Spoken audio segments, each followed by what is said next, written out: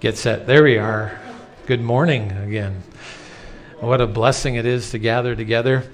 And uh, as you can see, there's a there's a, a, lot going on, and so we're very blessed in that way today. And uh, as you uh, take a look in the bulletin, just quickly a few things to note. Um, obviously, Vacation Bible School starts this evening at 5:30 is supper and uh, 6 to 8 each of the evenings, uh, tonight through Thursday evening, and then on 7, 7.30 on Thursday evening is the uh, Vacation Bible School program. You're invited to come every evening um, as adults too. Come on by one of the evenings at least and see what's going on. We might put you to work a little bit too, which is okay. Um, to be a part of things, but uh, love to have you come on out and see the kids as they're taking part in things and uh, be in prayer for the, the teachers and the craft people and all the, the food that gets made and things that way. So if you would do that, that would be great. Just a reminder this week, the guys' coffee, food, and Bible is Wednesday morning at 7. Um, as we continue on, it will be in the book of Proverbs this week with the Bible Project there. You have the calendar for the month of August um, in the bulletin. And so you have that opportunity to take a look at things. Yes, we're already talking confirmation, young explorers, um, various things that are going on as we already get started into our fall schedule coming up very quickly. Um, the prayer list is there on the back of the outline. You see a few new things that are there to be praying for. Um, continue to pray for Shirley Cooper. She was in the hospital this past week and came home here the other day. Uh, what? She did not come home? She's still there. Okay. I was told one thing and then another, so okay. But she's still in the hospital, so be in prayer for Shirley in that way. She's in Grand Forks. Um, pray for Marty too. He's not feeling that well himself, so be in prayer for both of them. Uh, the other new things you see there, uh, Val's brother Jeff, to be in prayer for him with his he fights cancer, and then Wayne Bradley, Carol's um, brother passed away here, and they'll be having a graveside this Saturday here at Rose. Um, any other prayer requests or announcements this morning?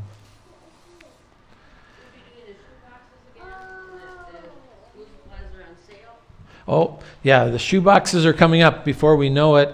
And uh, Shirley wants to remind you that school supplies are on sale right now it'd be a great time to pick up some of that stuff for the shoe boxes with Operation um, Shoebox. And uh, that'd be an, a great opportunity. Let's talk with God as we begin today. Gracious Heavenly Father, we worship you. You are the one true God. And uh, there's so much going on and a lot of different things. We pray for the Vacation Bible School as it gets started up here um, tonight. Uh, we just ask for your hand of blessing. We know your word doesn't return empty, and we will hear that again today, too. And, and Heavenly Father, we uh, see the needs that are there, all the different people. And uh, we, we think especially of Shirley and, and, Marty right now that you'd be with them, uh, watch over them. And uh, we ask that you'd bring healing to Shirley's body.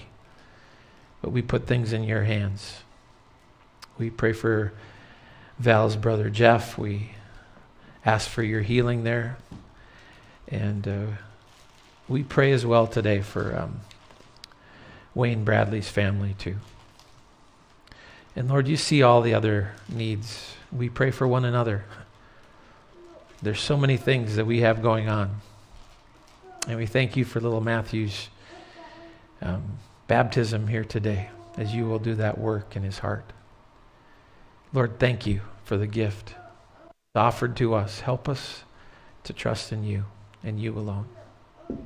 Do your work today, Lord, through your word, I pray. Amen. A worship team, if you would get us started.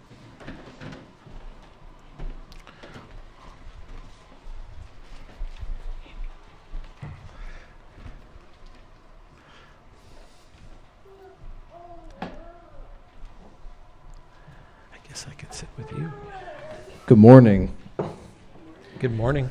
I invite you to stand as we can praise the Lord, not individually, but as a congregation altogether. And a verse I picked out this morning is Psalm 9, verses 1 through 2. I will give thanks to the Lord with my whole heart. I will recount all of your wonderful deeds. I will be glad and exult in you. I will sing praise to your name, O Most High.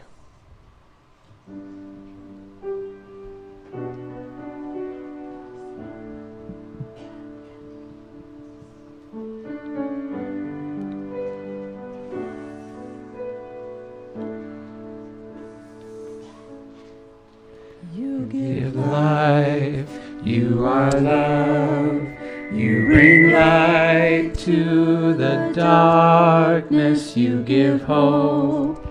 You restore every heart that is broken. And great are you, Lord. It's your breath in our lungs, so we pour out our praise, pour out our praise. It's your breath.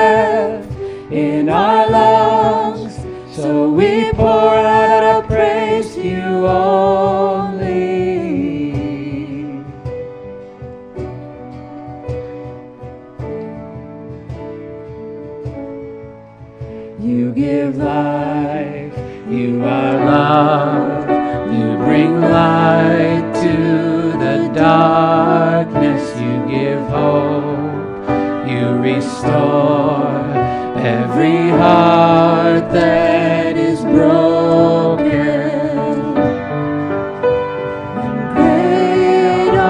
you.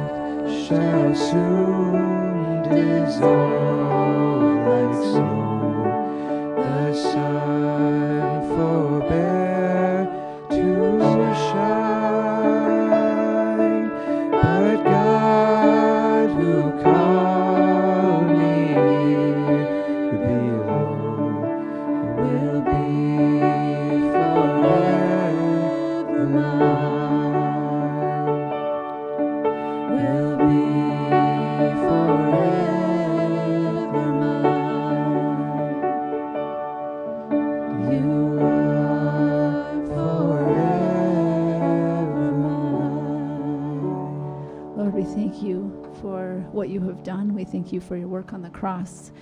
We thank you that we have salvation in you and that you give us everything we need for life and breath. We praise you this morning. In your name we pray. Amen.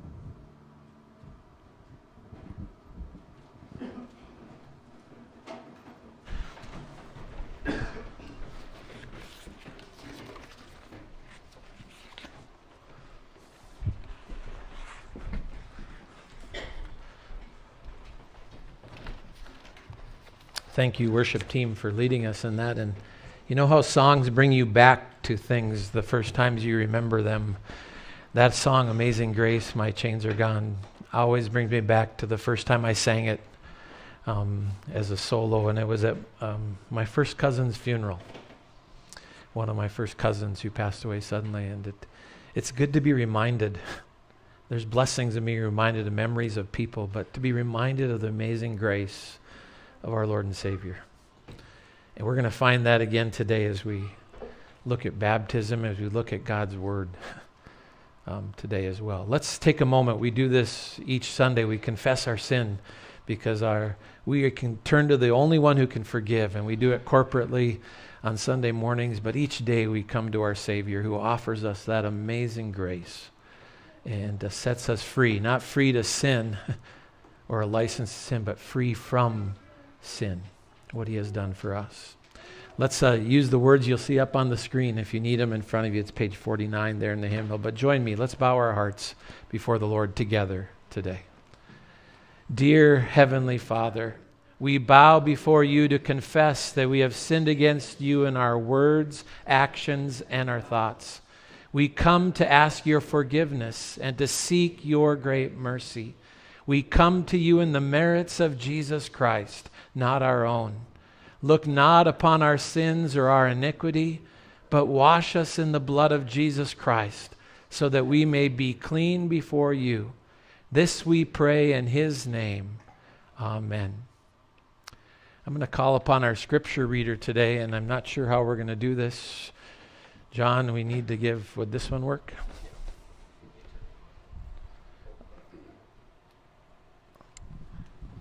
You're tall. I'm going to let you hold it. I might not be able to read today. Okay. My family's here. Yeah, we, we can do. You're going to have to put it close. This is one of the closest cousins I have here, so You have to put this close to you I when you do it. I grew up it. with them. So you're going to have to hold it close to your mouth when you do it. So, yep. I'll give it a try. My uh, grandpa Stowe came here in 1918, and uh, this is one of my cousins. I always tell everybody I got a huge amount of relatives, and this is just one cousin's family. so. Rollin.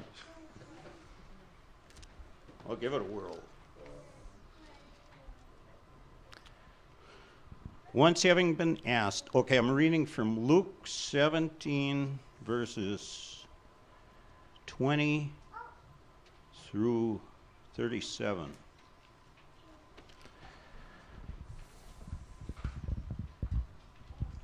Once having been asked by the Pharisees when the kingdom of God would come, Jesus replied, The kingdom of God does not come with your careful observation, nor will people say, Here it is, or there it is, because the kingdom of God is within you. Then he said to his disciples, The time is coming when you will long to see one of the days of the Son of Man, but you will not see it.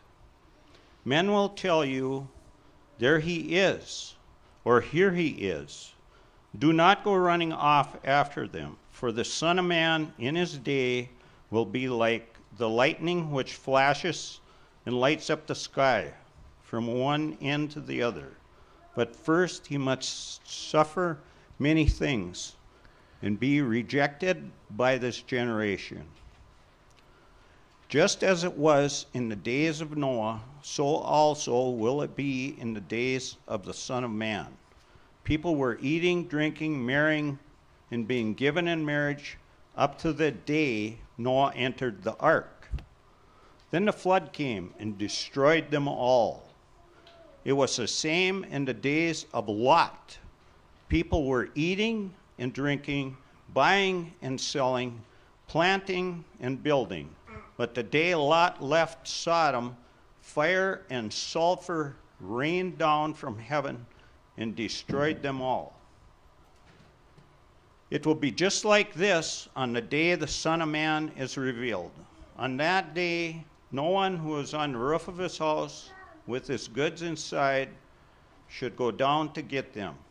Likewise, no one in the field should go back for anything. Remember Lot's wife. Whoever tries to keep his life will lose it, and whoever loses his life will preserve it. I tell you, on that night, two people will be in one bed, one will be taken, the other left. Two women will be grinding grain together, one will be taken, and the other left. Where, Lord, they asked. He replied, Where there is a dead body, there the vultures will gather. Thank you, John. You did great. I've been living with that passage all week. And so uh, we're going to find out what God has for us with that too. Here, I can't get it off, but we'll be okay. Let's confess our faith this morning before we uh, have Matthew's baptism today. But let's confess our faith. And this actually is a part of the, the baptismal service sometimes too, buddy We say what we believe. So we're going to do that first, okay? Does that sound good? I wish you could see the smile I'm getting. Let's proclaim it together. Would you join me? Let's do that. May it not just come from your lips today, but from your hearts as well. Let's do that. I believe in God the Father Almighty, maker of heaven and earth, and in Jesus Christ, his only Son, our Lord, who was conceived by the Holy Spirit, born of the Virgin Mary, suffered under Pontius Pilate, was crucified, dead, and buried. He descended into hell. The third day he rose again from the dead. He ascended into heaven and is seated on the right hand of God the Father Almighty, from where he shall come to judge the living and the dead. I believe in the Holy Spirit, the holy Christian church, the communion of saints, the forgiveness of sins, the resurrection of the body, and the life everlasting. Amen. I'll call you guys up at the right time here. I'll get things started, but give me a second. This gets a little tricky. We'll get the water in here.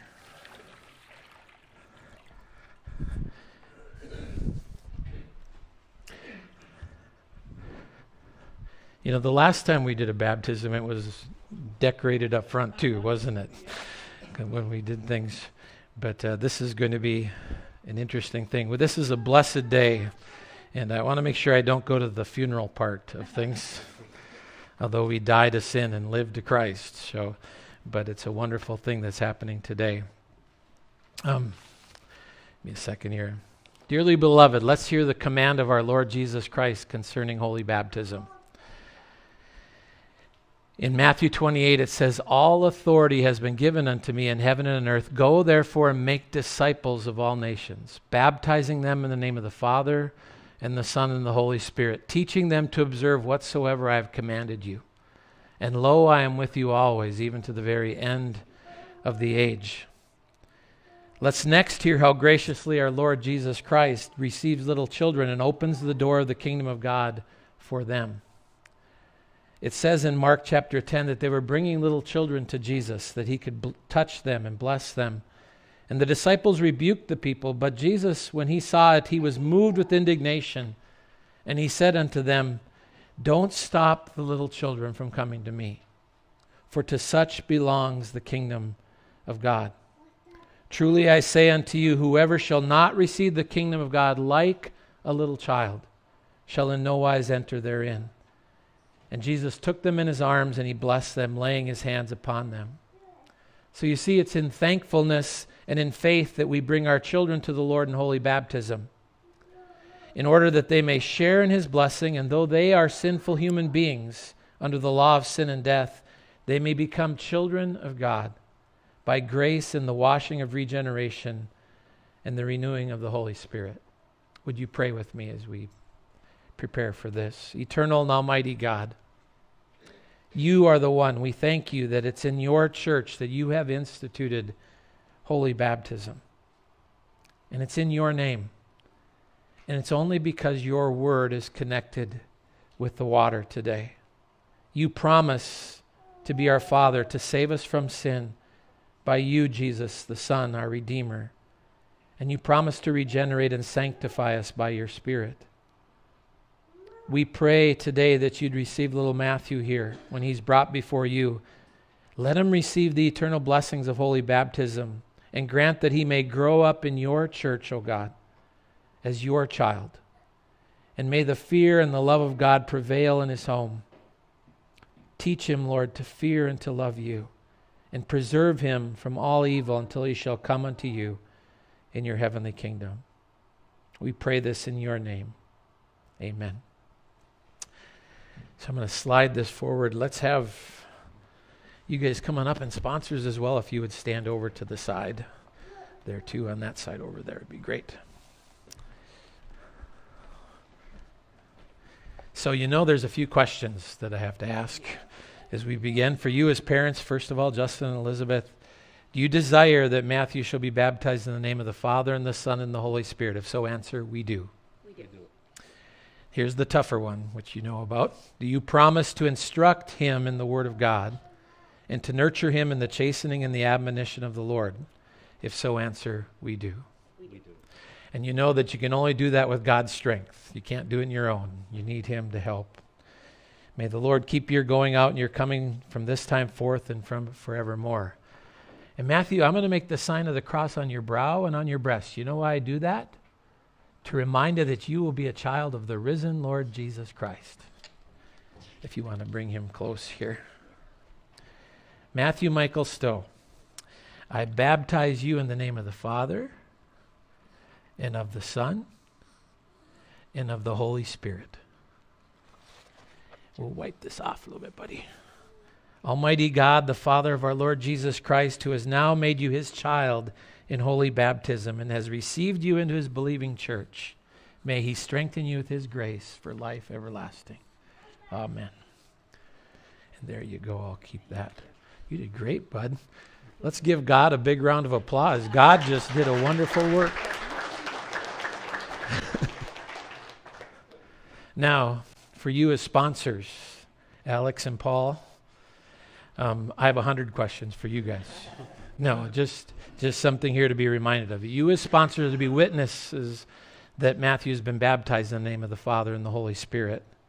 And you are also to remember him before God in your prayers and to make certain as far as possible that he's reared in the faith and the fear of God.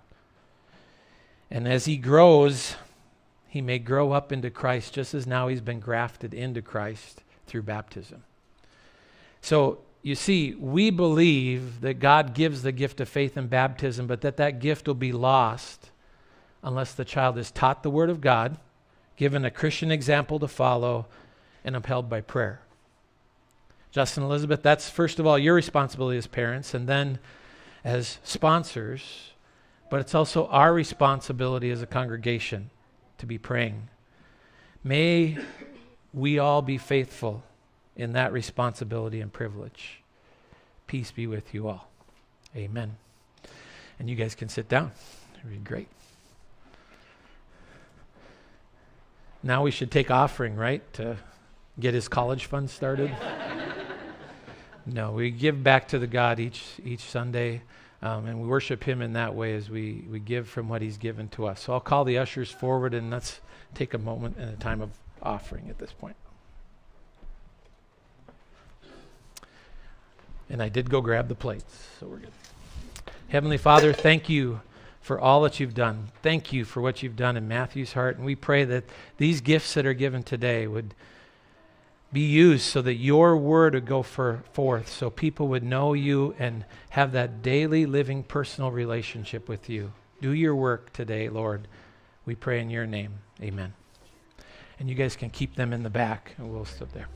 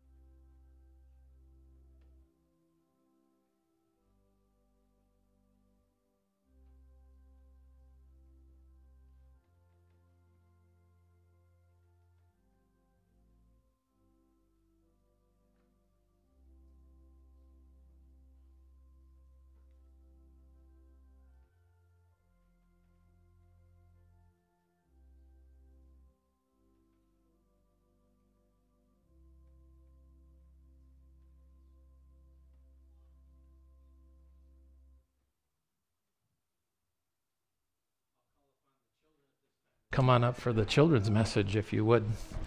And I forgot to do that before the baptism. Sometimes I have the kids come sit up front, which is kind of fun. But come on up today, guys. Boy, I hope there's more than four of you at, rele- at um, Vacation Bible School today. Maybe they're all getting ready for it in that way. So.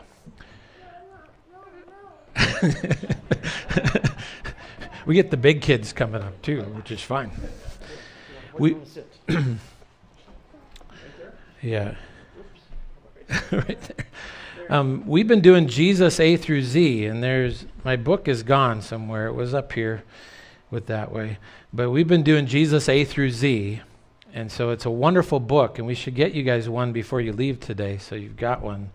We've got a few extras in that way. It's a wonderful way of doing it. So let's go through A, a through Z as fast as we can here. Here we go. Jesus with A.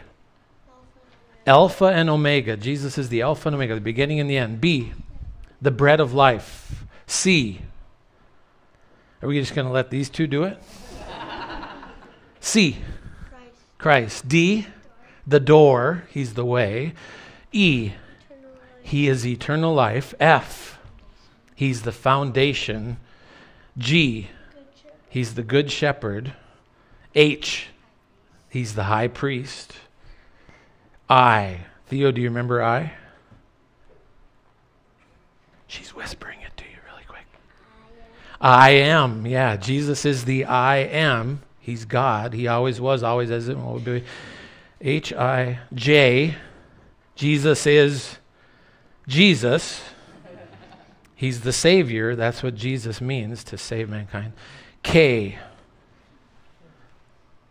King of Kings. And then last week we did L. Do you remember what L was? Should we ask them and see if they were paying attention? Yeah, let's see if they were paying attention last week. What was L? Don't be afraid. What's the guess? Lord, Lord, that would have been a good one, but it wasn't that one for this one. Love, it wasn't that. Wasn't Lamb of God either, even though that would have been a good one. He's the light of the world. You had that one down, didn't you, Simon? He's the light of the world. All those other L's are good, but in that book that we have, it's the light of the world. That, that leads us to M. Now, M, any guesses to what M might be, or did you already look it up in your book at home? What is it? He's the man of sorrows. Jesus is fully God, fully man. And in the Old Testament, there's a um, prophecy that says that Jesus will be the man of sorrows. Jesus was fully man, so he could be that sacrifice, but he would know every sorrow that we know. You guys know what sorrows are? Sorrows are tough things that make us sorrow or make us sad. Jesus has gone through everything that we have ever gone through. And he lived that perfect life. He became the man of sorrows and he died for you and me. And so we can always remember that, that he's taken it for us. So he's the man of sorrows. All right, since we've got five of you up here, you can take five pieces of candy at the end today. But you share either two or three, okay? You share two or three with these hungry people out here. Okay? Let's pray, and then you guys can head down. Lord, thank you that you are the one true God, Jesus. And we pray that today, that as we go through the rest of this day and we live along the way, that we will know you as our Savior and walk with you each step of the way. Help these kids remember that you're right there for them. I pray in your name, Jesus. Amen. You guys can head on down. Good job. Let's sing the song before the message here, and I am going to shed my coat, if that's okay. There we go. And, uh, and Spruce was an, an oven today. I didn't wear the coat at Spruce, but let's sing this song as we talk about the return of Jesus Christ today. This song, Christ Returneth. So let's sing it together. Go ahead, Debbie.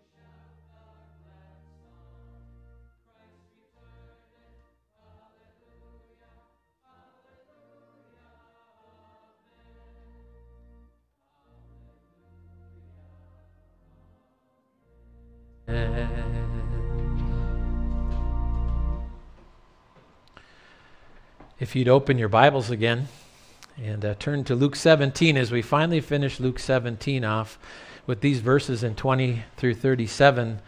As I told you before, I've been living with this all week. This is a tough passage of Scripture. There are a lot of interpretations that some people try to give to it. So, seeking out what God wants and what He shares is the key. We want to catch what Jesus has for you and me. And I've entitled this Kingdom Come. We use that phrase at different times with the kingdom. And uh, we do it in the Lord's Prayer, don't we? The second article of the Lord's Prayer is, Thy kingdom come. Now, a little catechism lesson or a little confirmation lesson, real quickly here.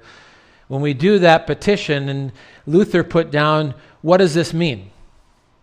And he, his answer was, The kingdom of God comes indeed of itself without our prayer. We don't need to pray for God's kingdom to come. But he says, But we pray in this petition that it may come also to us. We're praying for the kingdom of God to come. Now, the question that he asks next is, How is this done? And the answer to that is when our Heavenly Father gives us His Holy Spirit so that by His grace we may believe His holy word and live a godly life here on earth and in heaven forever. You see, when we talk about the kingdom of God, we talk about it in two ways in Scripture. One is the kingdom of grace. The kingdom of grace is where God has given us His Holy Spirit. If we believe and we trust in Him, the Word of God, through that, we believe the Holy Spirit, then God Himself lives within us. We don't become gods, but the kingdom of God then is in the hearts of people.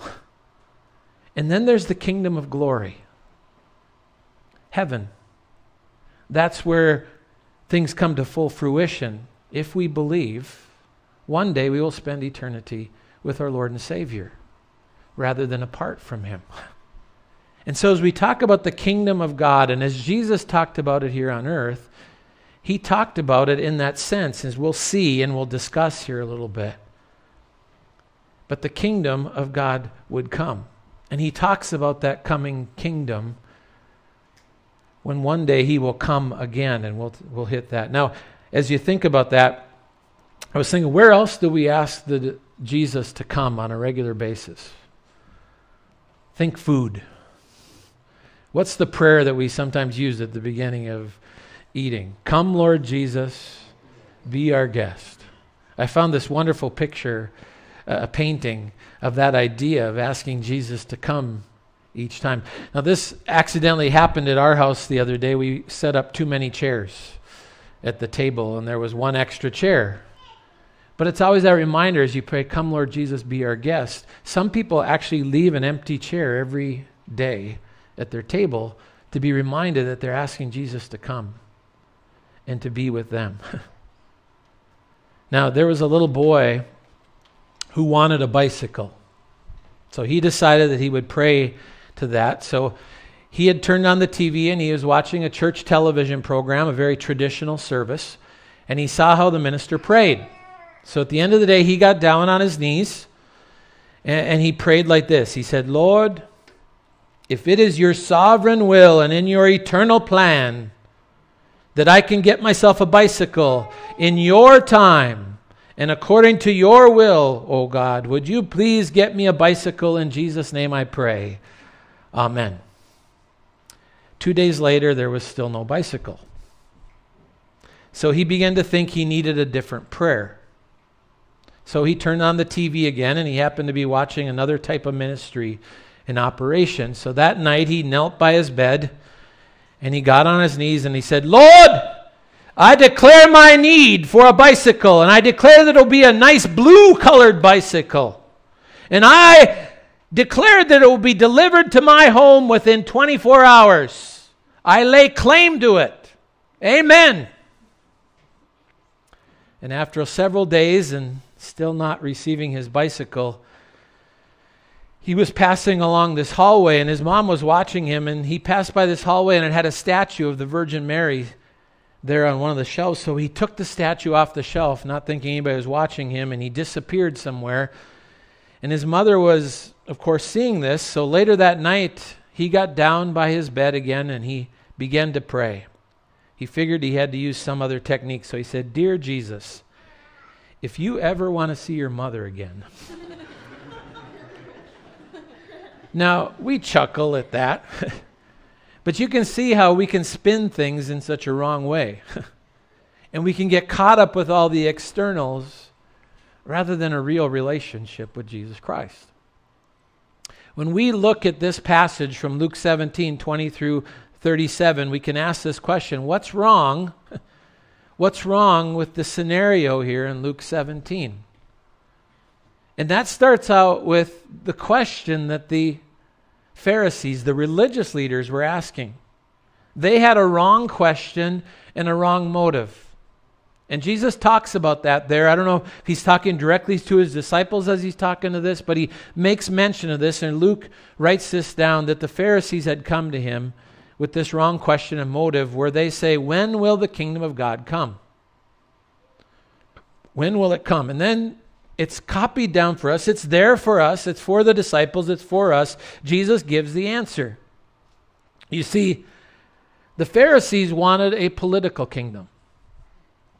They thought of the Messiah coming in like a King David or a Judas Maccabeus and coming in and wiping out the enemy and setting up the kingdom there in Jerusalem. That's what they were thinking when they were thinking of a Messiah coming to get rid of the enemies, the physical, political enemies. That this Messiah would come in riding the proverbial white horse with the white hat, guns ablazing, probably not guns at that time, but chariots and this army coming in. That's what they saw was this leader in that way. They wanted a grand display of power. That's why they kept asking Jesus for signs. Jesus, show us a sign so that we can know that you're the Messiah. And Jesus said, A wicked generation looks for signs. The sign has already been given. Just as Jonah was three days in the belly of the fish, so will the Son of Man be three days in the belly of the earth. They were looking for that physical kingdom. They were looking for somebody to come in in that way, but how did Jesus come? Born in a manger born in a barn. He came humbly. When he grew up, he didn't grow up in a palace, he grew up in a carpenter's house in Nazareth. They were looking for him to do all these things. But he was reaching out to people because the kingdom that he was bringing was a spiritual kingdom. The kingdom that he would set up in the hearts of people and bring salvation. It's great we're going through the A through Z with who Jesus is because it reminds us why Jesus came and who he is. And Jesus says to him, or I don't know if he was talking to the Pharisees, but to the disciples at least are hearing this, that the kingdom of God doesn't come, at least to the Pharisees, it doesn't come with your careful observation. Just because you're looking for the kingdom isn't going to make it come. You're going to have people, Jesus says, who say, Here it is, there it is. and that's, Jesus says very clearly, He says, Don't follow that. Don't go running after those things. Why? Where is the kingdom of God? Jesus says. Where is the kingdom of God? Jesus says, It is within you. Or that word within can be translated, It is among you. Jesus is right there in their midst, and they're missing it. Jesus is talking about how it is for us today, too, if the idea is that He's in you because that's where the kingdom of God is. It's among you, it's where Jesus is, it's in the hearts of believers, it's in the congregation where true believers gather. That's where the kingdom of God is on earth. The point to all this is that it's the true spiritual kingdom. It's not talking about this physical kingdom. One day we will have a new heaven and a new earth at the end of time. But Jesus is talking to them and he's pointing out this fact. They're missing that truth. the true spiritual kingdom, the kingdom of grace.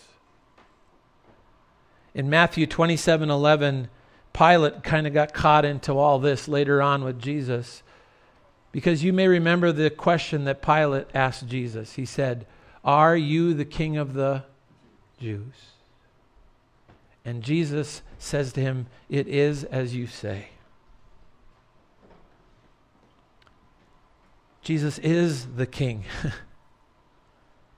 but the kingdom that he wanted to set up was the kingdom in the hearts of people. The Pharisees had the wrong question, the wrong motives. So I'm going to ask a question to you and me today. When do you and I have the wrong motives? when we're like the Pharisees. We, uh, we can't be like them, right? When do we fall into these things? when we start to look for the blessedness of God in outward circumstances rather than inner peace and in the joy that only He can give. We might say things like, if only I could win that prize, if only I could gain that job, if I could secure that friendship, God. Maybe if I could earn that income, if I could get that grade, how good my life would be. When we base it on our religious experiences and we try to get these experiences rather than basing it upon the truth of what Christ has done and what he can do for us. When we say to God, we need to get this gift, God, if you give us this gift, then we'll believe. When we wait for the circumstances to be just right. and we look for the we long for the future rather than to live in what Christ has done for you and me today. Even though it's filled with challenges and joys and all the things that life comes, we base it on what He has done for you and me today. and see, that's what Jesus does next with his disciples because it tells us there in the next verses in 22 and following that he turns to the disciples and he begins, he says to them, The time is coming when you will long to see one of the days of the Son of Man, but you won't see it he, he begins to warn them of some wrong beliefs here, is what he begins to do. He says, You're going to hit a time where you're going to want me to come back. but you're not going to see that. He says, You're, and he uses the same words he did with the Pharisees before this. Some people are going to come to you and tell him, Here it is. Here he is. There he is. and Jesus says, Don't go running after them. Don't go running after them. Don't go there with that aspect. I mean, think about it. Think about all the cult tragedies that would never have happened if people had taken these two verses seriously. You'll see the picture up on the screen, and you see the pictures of Jim Jones and David Koresh, and then the, the uh, um, Heaven's Gate cult massacre. And there's many more I can do. People who have claimed to be the Messiah, or people said, There's the Messiah. There it is. Here is the Messiah. And all the people that died because they listened to somebody that said, The kingdom is over there, the kingdom is over here. Look, there's the Messiah. You see, if somebody's telling you that the Messiah has come, Jesus says, don't go there. Because he's going to tell us what the coming of Jesus is like and what it is. Because when the coming of Jesus occurs again, everybody will know it. Not just some people trying to tell you that this is or that is. Every knee will bow, every tongue will confess. It'll be evident to everybody when Jesus comes again. And in this little portion, I want to just jump to verse 25. He says, first of all, first, first things first, Jesus, he says, this Messiah, he's talking about himself, is going to have to suffer many things and be rejected by this generation. Jesus is talking about his death to come, fulfilling his mission, that he would willingly go to the cross for you and me. And he would bring that redemption, he would pay the price. He would fulfill God's plan. He would c- accomplish the mission to bring salvation. You see, the real message to all of this, what Jesus is now going to tell us, the real message is to be ready. To be ready. To be ready for that day when we meet eternity. And by the way, there are two ways that you and I can meet eternity. One is if we die, we'll face eternity. Jesus will cover that with what he's got there. But the other way is when the Son of Man comes again in all his glory. And when Jesus comes the second time, the first time he came to bring salvation, the second time he comes in full judgment as King of Kings and Lord of Lords. And if we're a believer, a true believer, if we're trusting in him, that's a wonderful day because he'll come to take us home. But if you don't believe or you've been playing the game, what kind of day is that? It's a day of dread because you'll know the truth in all its fullness. And you will not have accepted it. Whew. By the way, you ever people complain about the fact that there's um, too much hellfire and judgment sermons, or they say there's not enough of them? Jesus talks about hellfire and judgment right here, doesn't he, when he brings up the examples that he'll bring. Well, what does he say first of all? The coming of the Son of Man will be like lightning. By the way, did, on Friday night, did you guys see the lightning show?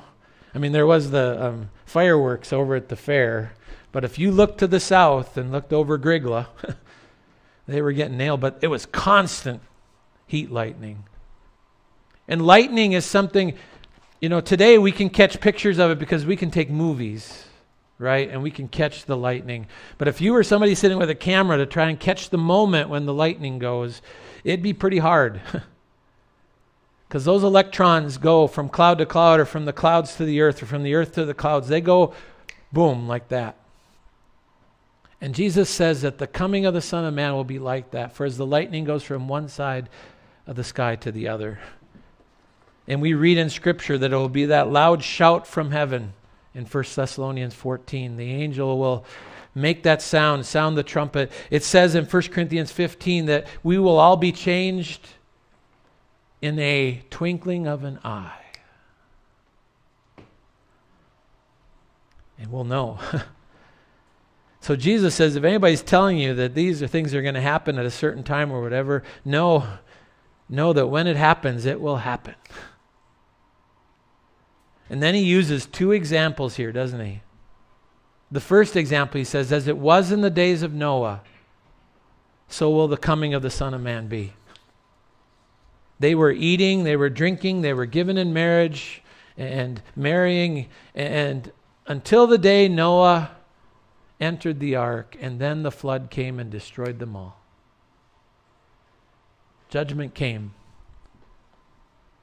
The rain fell, the waters from the deep filled the earth. And that judgment came as God brought it. There's an old song that says, I wish we'd all been ready. By the way, Jesus bringing up these examples, some people today tell you there's no way that the ark could have happened. Jesus is bringing it up. It's a actual event. You don't have to travel to Kentucky to see the ark, although it would be a great thing to do. The one that's been built by Answers in Genesis. It's a wonderful thing to get that picture of it. But that's the way God saved those eight people and the animals of the earth. but he said it'll be like that in that day. And then he uses the second example. It's the same as it is in the days of Lot. What were they doing in those days? They were buying and selling, they were planting, they were building, they were eating and drinking. but the day that Lot left Sodom, God rained down fire and brimstone, and judgment occurred. By the way, are you and I buying and selling, eating and drinking? You know, this is this is talking about some of those things that, that were happening back then and, and the evils that are there, but it's not the evil that it's getting pointed out here. There is the wickedness and the sin which was in those things, but what really happened was the indifference to God. The indifference to God. Does that sound at all like our day? It's been that way throughout time. And Christ could come at, at any point. Judgment can come at any point. See, the message is to be ready. Matthew 24 44, Jesus said, um, Be ready, for the Son of Man will come at an hour you don't expect. Matthew 25 31, in the next chapter, he says, Keep watch because you don't know the day or the hour. If anybody tells you they know exactly when, don't listen to it. Or if somebody says, There's the Messiah, or that he's already come, don't listen to that. Jesus is telling them, be ready, persevere. That's the real message here. And then in verses 30 through 32, he says, Don't look back. The day of the Son of Man will be revealed, verse 30 says. That word revealed is the, the word apocalypse. The book of Revelation is the apocalypsis of Jesus Christus. It's the apocalypse of Jesus Christ. It's when Jesus Christ will be revealed. That's the whole key. is the revealing of Jesus Christ. And, and, we will know that. What does he say about things here? He says, Even so, when that day comes, when the Son of Man is revealed, in that day, if you're up on the housetop and the goods are in the house, don't go down after the other goods. and likewise, if you're in the field, don't turn back to get things. and he says, Remember Lot's wife. Do you remember what Lot's wife did? I want to remind you with, with Sodom, Abraham pleaded for Sodom and Gomorrah. Pleaded with God. He got it down to 10. If there was 10 righteous people, the whole place could have been saved. And as Lot and his family are leaving, what does Lot's wife do? She turns back to those things. Don't go back to the things that are taking you away from God because judgment is sure. It's hard to say that because there are many things that I find myself going back to. If you were in a house fire, what would you go after? We had that question the other day. What's the one thing you would take with you? Well, the one thing to be for sure is don't go back in. and that's what he's saying here. Don't turn back. Don't hang on to the things of the world. And I mean, that day when Christ comes, everybody will know. Final victory for believers, the final judgment for believers and unbelievers alike. But it's so good to know that Jesus has taken it for us. You remember when the rich young ruler came to Jesus? He came to Jesus and he wanted to follow Jesus. He said, What must I do?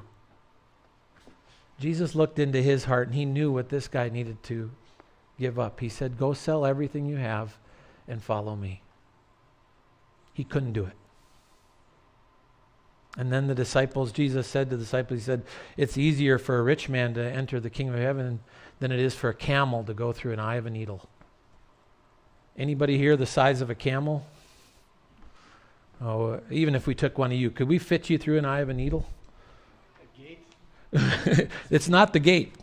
It's literally the eye of the needle because you know the next question. The disciples said to Jesus, Well, then who can be saved? They realized it was impossible. It was impossible. And then Jesus says, What's impossible with men? is possible with God. Salvation is possible only through Jesus Christ. And it's an amazing thing to think about what Christ has done. He's offered us a gift that we could never, as we reach and go with that. Because that's what the next part is. Um, by the way, I, I, I was reading a thing about R.C. Sproul the other day. R.C. Sproul um, tells the story one time. He in 1993 there was a terrible Amtrak accident, Mobile Bay. Um, it was on its way. The, the the train was on its way. This is actual picture of it. It was on its way to Florida. R.C. Sproul tells the story because he was on the train when they hit this big thing, and his, his wife got thrown into the safety netting. They were in his room, and he got thrown up against the wall, and and he knew something was wrong right away. And so he says to his wife, he says, Vesta, he says, we got to get out of here. And she's like, no, no, no, I got to get my shoes. And he's like, no, no, no, no. We got to get out of here. and she's like, no, no, no, I've got to get my suitcase. Once they got outside the train, she saw really quickly that they needed to get out of there, to not look back or to get things. And it's the same with us when we have that opportunity don't, don't go back for things. Follow. Believe. See, that's what Jesus brings up next. Do you see it? Take a look there um, at verse 33. Jesus says, Whoever tries to keep his life will lose it, and whoever loses his life will preserve it. we read that first of all and we go, What? Jesus says if we try to do life on our own terms and we try to gain things, even religiously, we need to lose our life. In Galatians 2:20, Paul said he said, "I am crucified with Christ, therefore I no longer live, but Jesus Christ now lives in me." When Jesus went to the disciples, what did he say? Follow me. And what did the disciples do? Some of them dropped their nets. They left everything and followed him. When we lose our life in him is when we really find it. In, in Hebrews 12, it says, in verses 1 and 2, it says, Therefore, since we are, are surrounded by such a great crowd of witnesses, let us throw off everything that hinders us and the sin that so easily entangles us and let's run with perseverance the race that's marked out for us, fixing our eyes on Jesus, the author and the perfecter of our faith, who for the joy set before him endured the cross, despised its shame, and sat down at the right hand of the throne of God. Consider him who endured such opposition from sinners so that you will not grow weary and lose heart. See, the message of Scripture is to believe and then to persevere and to live in that belief to not live in our own ways, but to follow Jesus Christ. What was the thing today? It was all authority has been given to me in heaven and earth. Go therefore and make disciples of all nations, baptizing them, teaching them to observe whatsoever I've commanded you. See, that's what Jesus wants us to do is to follow him. Matthew 16, 24 through 25, Jesus said, uh, If any man would come after me, let him deny himself, take up his cross, and follow me. For whoever would save his life will lose, whoever loses his life for my sake will find it.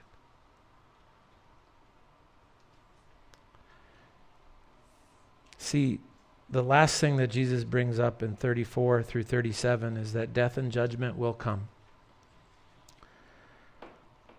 in verses 34 and 35, it says, One will be saved and one won't. as as the, the two are um, at the in bed, one will be saved, one won't. The two that are um, out in the, is it the field? One will be saved, one won't. See, when judgment comes, we don't know when death will come for one person or next. I mean, maybe I don't know, maybe some big millstone could fall right now and just kill you, Grant. I hope it doesn't. But it, it, it, what if it just fell on Joyce instead? one will be saved, one left. We don't know when death will come. We don't know when these things will come, but we need to be ready. and on that day of judgment, when Christ comes again, there might be two people together. One will be saved and one will be left. Are we ready to face eternity? That's the reality of life. And then that that crazy verse at the end, because they say, Where, Lord? And then what does Jesus say? Where there's a dead body, there the vultures will gather. By the way, you can interpret vultures. You can interpret it, it can either be vultures or eagles. That's what this picture is, right? Now, you and I live up north here. We understand eagles and vultures. If you see the buzzards flying in the sky, what do you know is around somewhere? A dead body of some kind. When you go driving along the roads, where do we see? I mean, we see a, a dead deer. What do you see around it? a, a bunch of eagles. There's other interpretations, and we can do a whole bunch of different things, but what it's talking about, death will come. Death will come, and that's a finality, and that's when judgment is. When death hits, there's no second chance.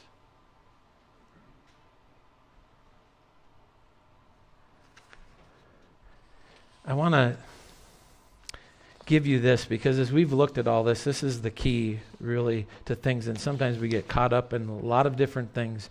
And don't get me wrong, Bible prophecy is important. It's important to study it. But I want you to catch something about Bible prophecy. It's not given so that we can sit around and speculate about what will happen in the future.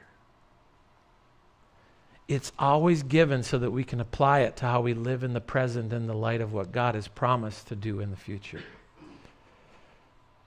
If you're just studying prophecy because you, it's interesting and you want to figure it out, that's fine, but that's not the purpose of it.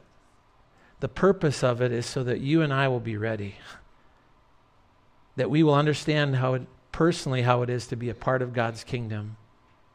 Because Jesus makes it clear that judgment will come. And if we don't have Him, we don't accept what He has done, that judgment will lead to an eternity apart of Him, apart from Him. To be in God's kingdom, we must be personally related to God's King, to King Jesus. and we can faithfully await that consummation when He comes again. Jesus is saying, Be ready. So you and I can say, like the end of Scripture says in the end of Revelation, it says, Maranatha. What does Maranatha mean? Come, Lord. Come. Come, Lord Jesus.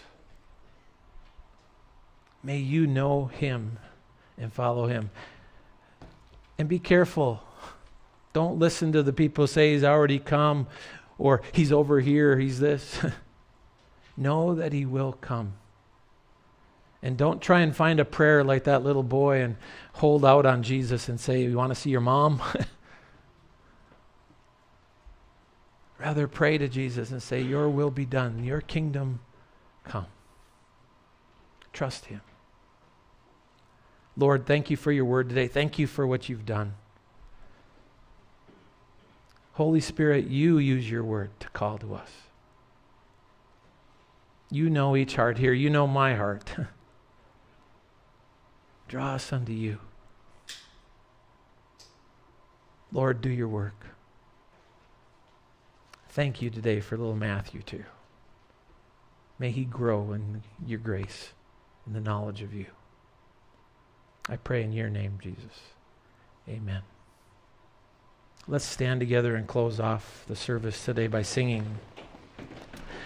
Take a deep breath before you sing this one when the roll is called up yonder, but I hope you can sing it fully and say, I'll be there if you trust in the Lord Jesus Christ. Let's sing it together.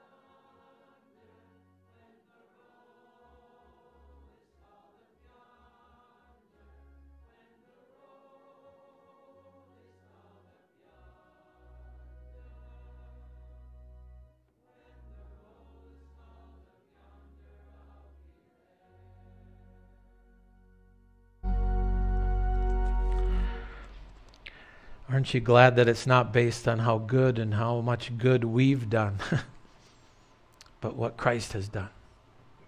And may the Lord help us to truly believe and live it. Let's pray together the prayer Jesus taught us to pray. Our Father, who art in heaven, hallowed be thy name. Thy kingdom come, and thy will be done on earth as it is in heaven. Give us this day our daily bread, and forgive us our trespasses as we forgive those who trespass against us. And lead us not into temptation, but deliver us from evil. For thine is the kingdom, the power, and the glory forever and ever. Amen. And may the Lord Himself bless each of you, keep you. May the Lord make His face to shine upon you and be gracious unto you. May the Lord lift up His countenance upon you and give you His peace. In the name of the Father, and the Son, and the Holy Spirit, the one true and living God. Amen and amen. Amen.